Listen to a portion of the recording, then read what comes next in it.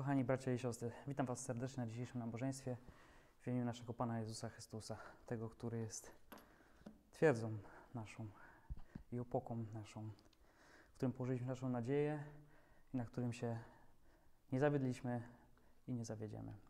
Chciałbym zachęcić Was do tego, abyście otwarli Wasze Biblię na Psalmie 46.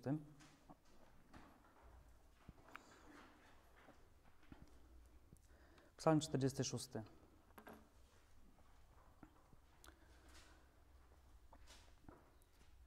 Przewodnikowi chóru, pieśń synów Koracha, na nutę dziewice. Bóg jest ucieczką i siłą naszą, pomocą w utrapieniach najpewniejszą. Przeto się nie boimy, choćby ziemia zadrżała i góry zachwiały się w głębi mórz, choćby szumiały, choćby pieniły się wody, choćby drżały góry z powodu gniewu Jego. Jest rzeka, której nuty rozweselają miasto Boże, przybytek święty Najwyższego. Bóg jest w nim, nie zachwieje się. Bóg wspomoże go przed świtem. Zburzyły się narody, zachwiały się królestwa. Odezwał się głosem swoim, rozpłynęła się ziemia. Pan zastępów jest z nami. Warownym grodem jest tam Bóg Jakuba. Pójdźcie i zobaczcie dzieła Pana, który czyni dziwne rzeczy na ziemi. Kładzie kres wojną aż po krańce ziemi, łamie łuki i kruszy włócznie, wozy ogniem pali. Przestańcie i poznajcie, żem ja Bóg, wywyższony między narodami, wywyższony na ziemi. Pan zastępów jest z nami. Warownym grodem jest nam Bóg Jakuba. Chciałem się podzielić krótko jednym de facto wersetem, który wszyscy dobrze znamy z tego psalmu. Psalm 46, jak większość z nas wie, jest inspiracją do jednej z najbardziej znanych pieśni protestanckich, jakie, jakie możemy sobie wyobrazić.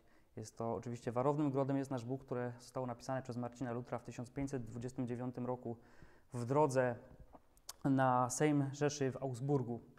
E, sytuacja była trudna, ponieważ cesarz postanowił zwołać, w zasadzie postanowił ogłosić taki rodzaj edyktu, który mówił, że zabronione będzie głoszenie nauk protestanckich. I właśnie po to Luther udał się tam, aby zaprotestować przeciwko temu edyktowi i nie dozwolić, aby on wszedł w życie. Ten edykt wszedł w życie dokładnie w tym roku, w którym Luther tam się udał.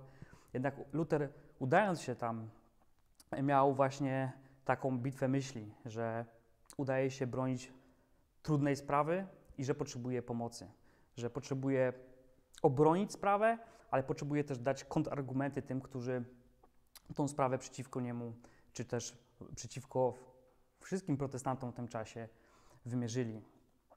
I w tym czasie właśnie podróżując postanowił ułożyć parafrazę psalmu 46, którą znamy dzisiaj jako pieśń Warownym Grodem jest nasz Bóg. Jest to parafraza, dlatego że jak widzimy, chociaż jest ona mocno inspirowana 46 psalmem, jednak nie jest jego kopią, nie jest jego tłumaczeniem. Mało tego, Luther postanowił ostatni werset dać na początek, jako, jako początek, jako zachętę tego, tego hymnu. W ostatnim czasie, jak wiecie, nie mamy wielu możliwości, żeby śpiewać na nabożeństwach pieśni.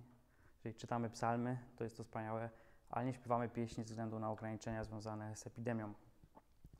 I myślę, że to, co się z tym wiąże, to to, że wielu z nas nuci te pieśni gdzieś w innych miejscach albo wspomina je w myślach, e, może rozważa, może inspiruje nas do tego przeczytane właśnie słowo, może inspiruje nas do tego sytuacja w rodzinie albo w pracy, może miejsca, w których jesteśmy, a wszystko to przez Ducha Świętego.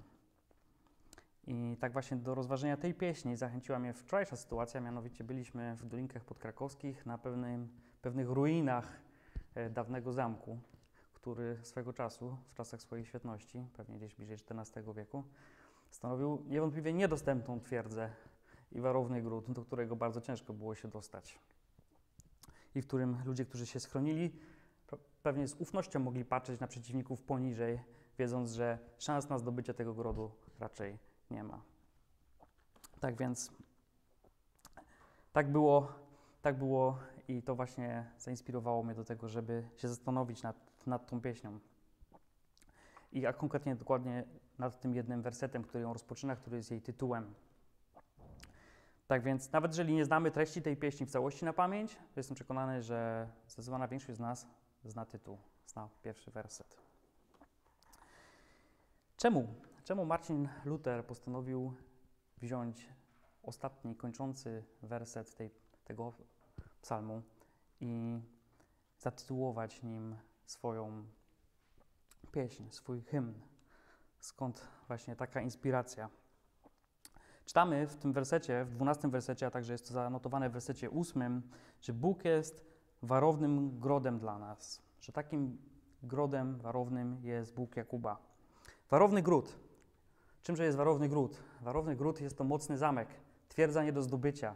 Jest to też w oryginale, jak patrzymy na tekst, miejsce wywyższone, niedostępne, niezdobyte, oddalone i takie, do którego dostać się nie sposób. Warowny Gród to ufortyfikowany zamek, to, to miejsce, w którym ci, którzy się tam udają, znajdują swoje odpocznienie i ucieczkę. I jak wspomniałem, Marcin Luther, kiedy zdążał na Sejm Rzeszy w, Augsburgu, jedną z rzeczy, jedne z rzeczy, czy dwie rzeczy, które mu głównie pozostały w pamięci prawdopodobnie z tego czasu, to jest to przygotowanie do obrony i moglibyśmy powiedzieć również do ofensywy, czyli danie odporu tym, którzy oskarżają y, nau nauczanie protestanckie i mówią, że jest fałszywe, że należy go zakazać. Więc musiał się bronić, musiał, musiał y, zachować y, siebie i, i, i, swoje, swoje przekonania, ale musiał dać też odpór. I stąd nazwa Warowny Gród, dlatego że Warowny Gród z jednej strony niewątpliwie kojarzy nam się z obroną, tak jak wspomniałem, jest to miejsce oddalone, wysoka wieża czy wysoki gród, miejsce, do którego bardzo ciężko jest się dostać. Jest to miejsce, w którym znajdujemy ochronę i ucieczkę. I Marcin Luther chciał podkreślić to, że Bóg jest tym warownym grodem dla nas, jest miejscem ucieczki, jest miejscem schronienia, jest miejscem obrony, jest, jest domem, gdzie możemy się schronić i wiemy, że jesteśmy tam bezpieczni, że jesteśmy pewni, że tam nic złego nam się nie stanie. I to jest pierwsza myśl, która nam przychodzi na myśl, kiedy, kiedy ten werset rozważamy. Ale jest jeszcze druga część tego, mianowicie, jak może zdajecie sobie sprawę z tego teraz, zamek jest też miejscem, z którego wyrusza wojsko do ataku. Gród, warowny gród jest miejscem, z którego król maszeruje ze swoim wojskiem. To jest miejsce, z którego rozpoczyna się odsiecz. To jest miejsce, z którego przychodzi pomoc. Taki jest właśnie nasz Bóg. Nasz Bóg jest nie tylko naszą obroną, naszą ucieczką, naszym miejscem schronienia, ale jest też miejscem, z którego przychodzi nam pomoc. Z którego przychodzi nam pomoc. Czytamy w Psalmie 46, versety 9 do 11. Pójdźcie i zobaczcie dzieła Pana, który czyni dziwne rzeczy na ziemi. Kładzie kres wojną aż po krańce ziemi, łamie łuki i kruszy włócznie, wozy ogniem pali. Przestańcie i poznajcie, że ja Bóg, wywyższony między narodami, wywyższony na ziemi. Bóg nie tylko jest tym, który, który zapewnia ochronę, ale jest tym, który wychodzi z inicjatywą, aby pomóc tym, którzy pokładają w nim swoją nadzieję. A więc Bóg nasz nie jest tylko miejscem naszej ucieczki, ale jest miejscem, z którego przychodzi do nas pomoc. Wiecie, celem Marcina Lutra, kiedy układał ten hymn, było pokonać strach i pokrzepić wiarę, zwiększyć naszą ufność ku Bogu. I myślę, że dokładnie tak możemy na niego patrzeć, na, na, na ten hymn jak i na ten psalm, kiedy go czytamy, ponieważ ten hymn jest mocno inspirowany tym psalmem. Możemy patrzeć na to, że Bóg, który z jednej strony jest oddalony i niedostępny, jednak przez krew Jezusa Chrystusa stał się dostępny i bliski nam, którzy pokładamy w Nim nadzieję. Jest naszym schronieniem. Przez łaskę, przez krew Jezusa Chrystusa, przez łaskę mamy dostęp do tego schronienia, które jest niedostępne, które budzi strach w Jego wrogach ale które dla Jego przyjaciół jest miejscem schronienia i ostoi. I w ten sposób jesteśmy nie tylko chronieni, ale również zapewniona jest nam pomoc. Jest napisane, że Jezus pokonał grzech, jego moc, szatana i śmierć. I jako taki właśnie Jezus Chrystus, zwycięzca, nasz Zbawiciel. Zbawienie to co innego, to ochrona, to, to zabezpieczenie, to to uratowanie. Właśnie do tego Zbawiciela się udajemy po naszą pomoc.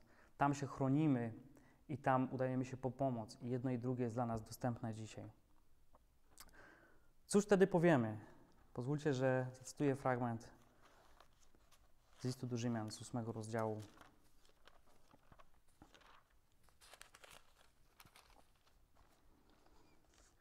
Cóż wtedy na to powiemy? Jeśli Bóg z nami, któż przeciwko nam? On, który nawet własnego syna nie oszczędził, ale go za nas wszystkich wydał, jakżeby nie miał z nim darować nam wszystkiego? Któż będzie oskarżał wybranych Bożych? Przecież Bóg usprawiedliwia. Któż będzie potępiał? Jezus Chrystus, który umarł, więcej zmartwychwstał, który jest po prawicy Boga, ten przecież stawia się za nami. Któż nas odłączy od miłości Chrystusowej? Czy utrapienie, czy ucisk, czy prześladowanie, czy głód, czy nagość, czy niebezpieczeństwo, czy miecz? Jak napisano, z powodu Ciebie co dzień nas zabijają, uważają nas za owce ofiarne. Ale w tym wszystkim zwyciężamy przez tego, który nas umiłował. Jednego jestem pewien, że ani śmierć, ani życie, ani aniołowie, ani potęgi niebieskie, ani teraźniejszość, ani przyszłość, ani moce, ani wysokość, ani głębokość, ani żadne inne stworzenie nie zdoła nas odłączyć od miłości Bożej, która jest w Chrystusie Jezusie, Panu naszym. Bóg jest naszym schronieniem. Bóg jest naszą pomocą, pewną w każdej chwili. Zwróćmy nasze oczy na twierdzę, która budzi strach we wrogu, ale dla nas jest schronieniem i pomocą na każdy dzień. Do tego Was zachęcam. Zachęcam do tego, żeby przyjrzeć się Psalmowi 46 i zaczerpnąć stąd dalece więcej niż to, co teraz powiedziałem. Amen.